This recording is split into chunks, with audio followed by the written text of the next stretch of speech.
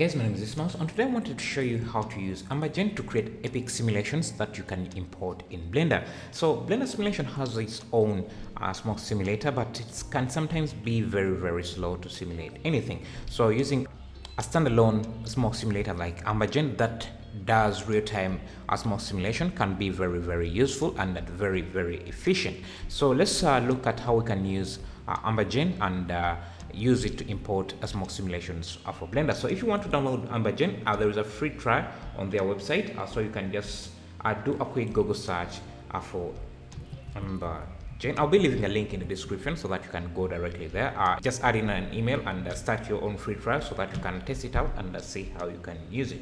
So let's get started uh, with this. You can also see some of their demos. They have the most coolest demos you will ever find yeah so for any smoke simulator so and uh, this is real time as well so you can really see uh, what you're getting as you're working.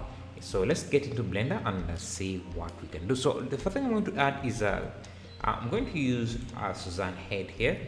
You can export whatever you want to emit the smoke from as an fbx uh, file then export that and then in EmberGen uh, so the, the view UI is uh, split in two different sections uh, like Blender. You have the node editor. This is going to allow you to tell EmberGen how to simulate the smoke using different nodes. And each node here you each node you click will give you the different settings for or parameters for that specific nodes uh, here. And this is your timeline and here is your viewport authority view area. So if you hit play you can see the simulation uh, simulating. Let's uh, see how to import in the mesh. So to, to start a new project, you just go on a file, new preset, and uh, I don't have to save this one, and I'll just give you this basic setup uh, with different nodes. Uh, if you're using Blender, if you want to export into Blender, the only nodes you want to you you care about are the nodes, uh, the simulation node, emitter, and the shape. These, these are the three nodes you want to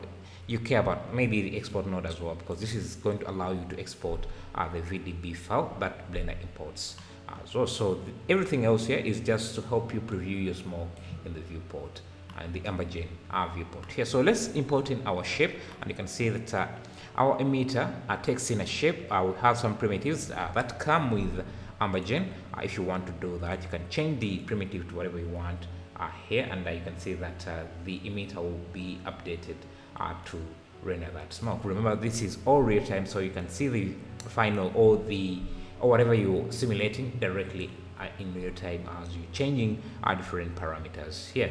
Uh, you can also animate uh, this um, uh, whatever you whatever mesh or emitter you have here. You can also change. Uh, you're not only restricted to meshes or primitives. You can also uh, use particles for that. So let's add that. Or you can just drag a node uh, a line from the from the input and then then you can get out something here. So let's add in some particles here.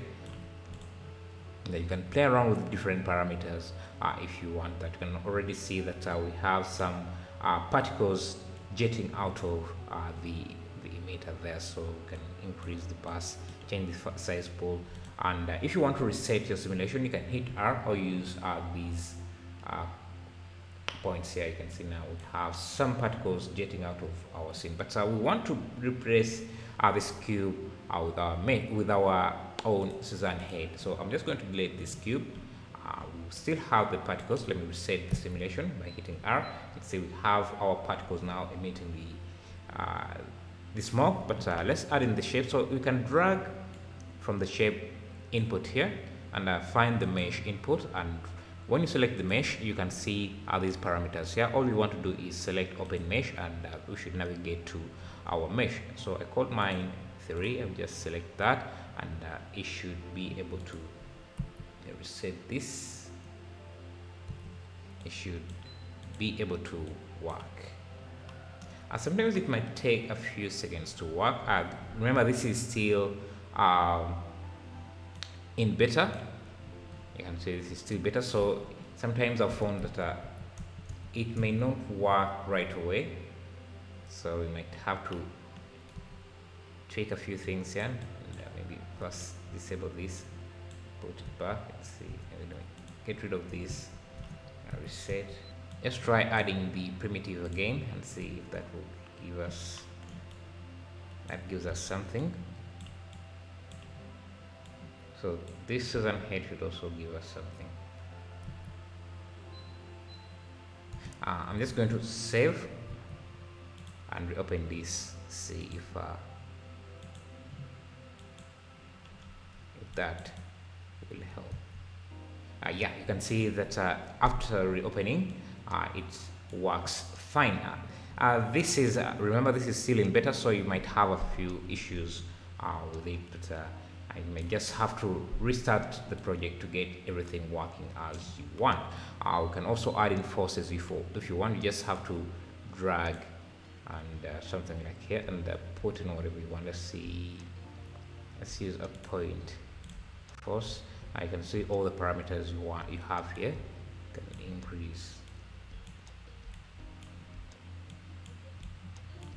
I can see how uh, that is affecting uh, the uh, the smoke and you can see that uh, this also has a bounding box like uh, the blender smoke simulation.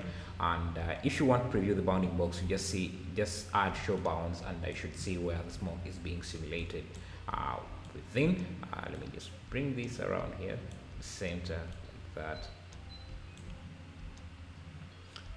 And I don't know let me just get rid of that force. And that delete the force you just have to delete it from the up from the uh, point here. I'm going to scale down the Suzanne head by selecting the mesh here and uh, reducing uh, the scale of it just a bit so that we're not going too outside uh, the bounding box. And uh, this is what we have uh, for now. There are quite a few forces here so if you want to play with those you can add those as well and see how that is going to affect your simulation. You can also in the can see also the mesh itself, uh, the emitter itself takes a force, so you can add that there as well to see how that is going to uh, behave. Now I think uh, this is good enough for the demonstration we want here. So I'm just going to export, I'm just going to show you how to export this. And uh, if you click on the simulations, you can see the different settings you have uh, for the simulation. I'm, I'm not going to go into those uh, so you can just experiment to see what you get. Uh, for now, let's just go to the export VDB so that we can export this into Blender. Uh, first thing you want to do after you click on the export VDB, you want to select where you want uh, the VDB files to go. So I'm just going to create a new folder here. I'll just call it 34 and uh, I need to, to name what you want uh, the file and uh, then you can export. I name the timeline, uh, how long the timeline is going to be. Let me just pause this for a second. Uh, will just give it a 250 frames uh, like uh, the length of the blender timeline default timeline. So let's uh, export this by hitting export. If you look at uh, the export parameters you have these export types. These are going to be your uh, attributes your small attributes or fire attributes in blender. So let me first pause this for a second for a second so you have the export density, temperature, fuel. Uh, this is going to come up in your uh, in Blender as attributes uh, that you can use for uh, for your volume shader. So let's also export uh, the temperature, fuel, uh, velocity, and I think that's it. So let's export this again. course this is a, going to be a bit slower than before because now we're exporting more data than before. So Okay, now after exporting this, all you have to do is go into Blender and then use Shift A to add a VDB file under volume, import or open VDB, and then navigate to your VDB file where you have exported the data, then import that into Blender. You can see what we have. But uh, if we add a Suzanne head uh, for comparison, you can see that uh, this is a bit too large. So I'm just going to scale it down add fit the size. And let me just go to around here. Just move that into space like that and then I can get rid of this Suzanne head. And uh, if we play back you can see how the smoke looks. Uh, so we can add we can go to the materials and uh, start working on this. Let me just switch to Eevee uh, for faster previews and uh, look at how this looks. So let's add a principal volume and uh, now these these are export types that you see here that we added in are these attributes that we can use for our principal volume to control how uh, our fire looks or how our fire our smoke looks. I'm going to add um, a sun. Let me just see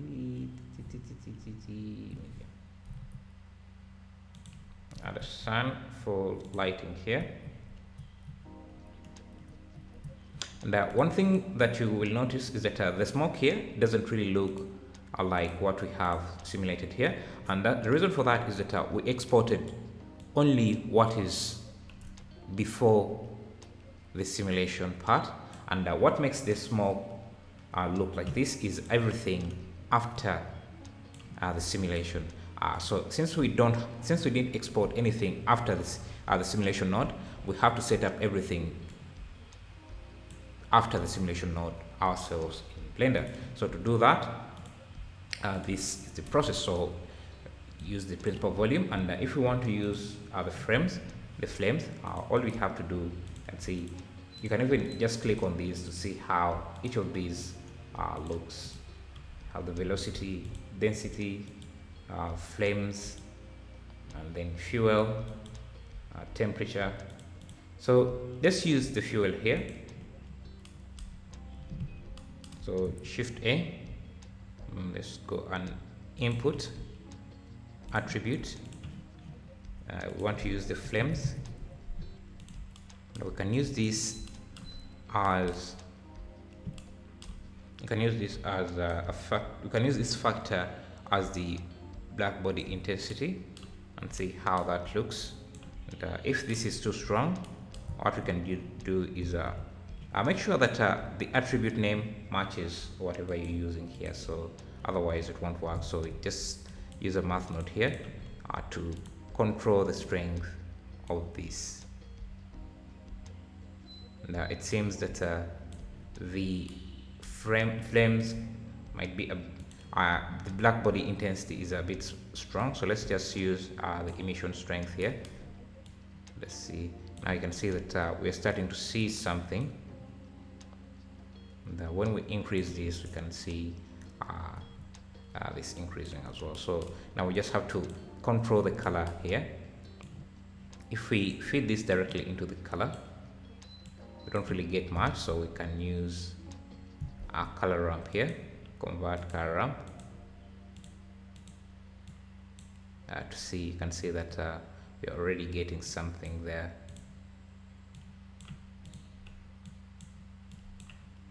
Now if we multiply this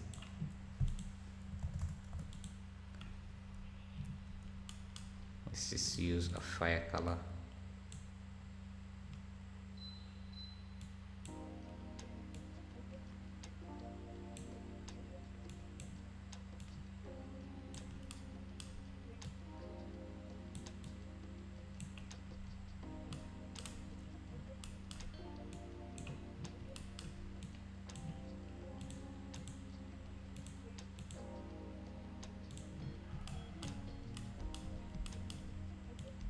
and uh, everything looks blocky right now because our volume settings is uh, using a very high size tile size so we can reduce that to get even better looking results. But uh, this is also going to increase your computation power so uh, you need a beefy PC to do this. Uh, you can also increase your viewport uh, samples to make things look even much better.